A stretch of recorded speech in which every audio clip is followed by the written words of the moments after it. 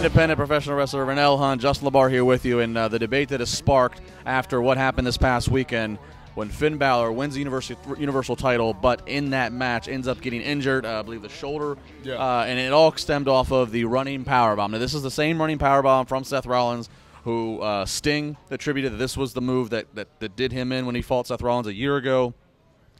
Obviously, Rollins has also had, you know, he, he whacked John Cena's nose. He, Yeah. You know, he's he's he's buckled his own knee. There's so Roll- couple Rollins has been involved in a lot of injuries for himself or other people here.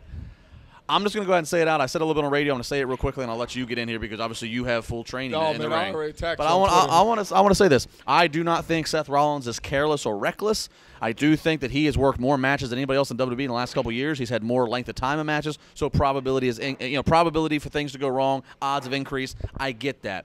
Uh, I do think this running power bomb. If WWE doesn't do it, Seth needs to take the initiative himself and stop using the move. He's got too much of an arsenal. It's not worth it.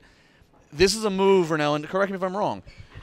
It'd be one thing if, if he, he he's he's letting them go way too far away mm-hmm. before he drops them into the turnbuckle of the barricade. Mm-hmm. Therefore, there's more more time and more room for anything mm-hmm. to happen. They can't see where they're going. Hence, Balor braces himself with his arm. Not sure if he's going to smack his neck or whatever. There's just too many risks in this, and I don't see. There's no point of it. Just get rid of Well, this damn move. At the, at, the, at the same time, it's like this. You look at so many matches. We talked about the, the depth of matches that he has. How many years has he been, you know, wrestling in general? The thing is this. I understand you banned the move because people are are executing it wrong. But the thing is, freak accidents are freak accidents. We go through. It's professional wrestling. We're not playing patty cake right now. Listen, we take normal power bombs. We can say the same thing about. Listen, there, there's No, normal power bomb is you're taking a flat back bump. The very first thing you learn. This is your body being contorted, going up against something vertical and stationary. It's not right. At the, at the same time, look at it just like this. At the same time, listen, how many times has he given that and no one has got hurt? Number one, all the respect in the world to Sting, all the respect in the world. But when you go back to when he talked about this on the air,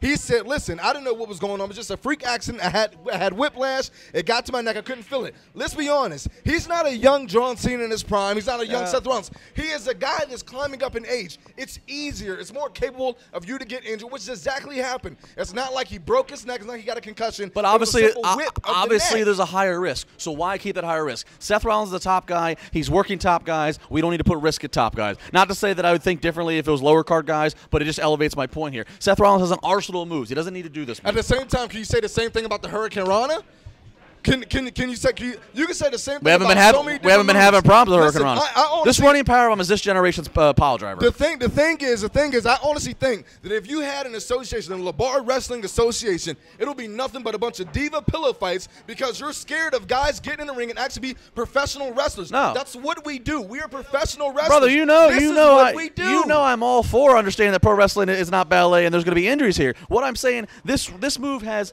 an unusual and un, unnecessary amount of risk. He's letting, he's standing here and letting them go, and they're still four feet to their target. If he would hold on to them and have more control a little bit sooner before slamming them into a turnbuckle, it'd be different. But he's launching them. It's too much risk. Maybe, maybe, maybe a lot of guys don't know how to take it right. Maybe, you know, whatever the case may be, just get rid of the damn move. Okay, so, so, so here's, here's the thing. I'm all for Let me- let me- physicality. Let me, I'm all you for this. Let me ask you this. If you want them to I get defended away, this Brock Lesnar finish. I'm all for Listen, physicality. if you want them to get away, get rid of the running power bomb, if that's the case, let's look how simple it is. It's a simple thing. Pick them up as a normal power bomb. We all know this. As a wrestler, you understand how you have to do it, the technique, where your hand placement, everything has to be, the technique of that. We understand that we're going into a vertical odd job. It's not horizontal. But at the same time, it's a freak thing. Going back to Sting, it was just a neck. Going back to Finn Balor recently, it was a simple thing of grabbing it. Okay, we, we, we've thrown people into barricades when they go upside down. We have done things where we drop people when they go vertical. Maybe he's is- maybe he's letting them loose. Maybe he's letting them go too far away. Okay, well, listen, listen. Let me tell you this. How many more people do we have to have freak accents before we decide to? Okay, uh, okay. Listen, let- if that is the case, let's get rid of ladder matches. Let's get rid of steel cage matches. Let's get rid of last man standing. Heck, let's just ban Brock Lesnar if that's the case. Because right now, what I think you're doing, I think you're trying to make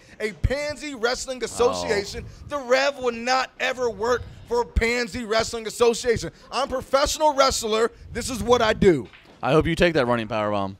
Listen, I would glad. Uh, you want? I can Yeah. give you one if you need. Yeah. Well, wait. Maybe maybe a future segment. We'll get in the ring and we'll try to we'll try to analyze how this move should be done. Please, however many likes we do, that's how many running power bombs I'm giving. We want to know what you think. Hashtag WZCSR. I want to know what you think. And Josh Isenberg, he's going to give us your thoughts plus his. Eisenberg, take it away.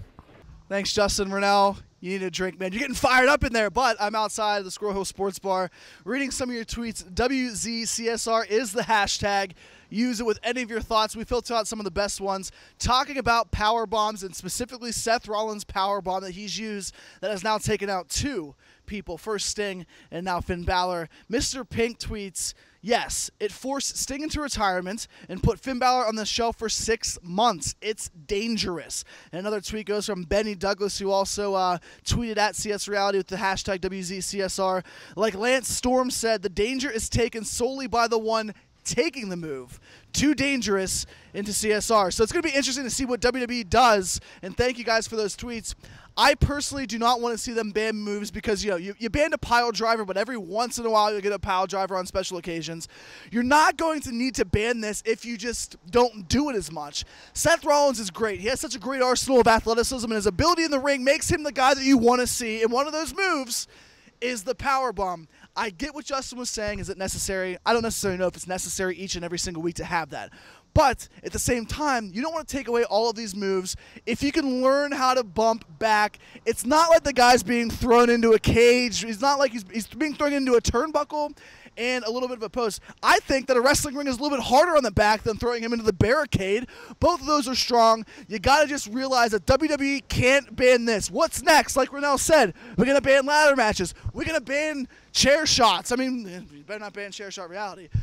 I think that WWE needs to really realize if you ban this, it's going to continue to ban something else, and then something else, and then something else. This would be the second move. You remember the curb stomp? I love that. Yeah, it might have been a little too dangerous putting his uh, his, his back the back of his head and back down to the mat. Mm, I don't want to do that. I might do it to the bar once, but you can't ban every single move. You can't do it. Let these wrestlers wrestle and let them train and learn how to fall.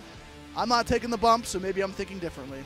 Chair Shot Reality all weekend long. Stay here. We're coming back hot, coming back at you. Universal title talk and so much more on WrestleZone.com.